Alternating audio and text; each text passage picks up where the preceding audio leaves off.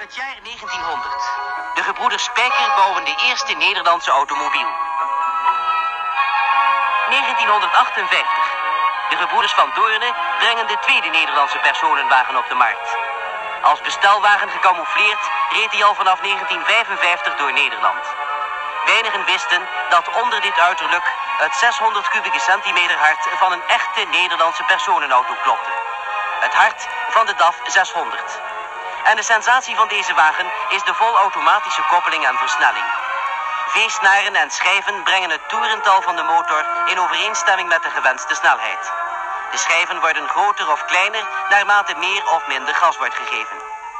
De Variomatic, zoals dit systeem heet, denkt voor de chauffeur. Die heeft alleen te maken met zijn stuur, zijn gas en zijn rempedaal. Een 600cc luchtgekoelde motor. Loopt 1 op 17. Onder de bestelwagen...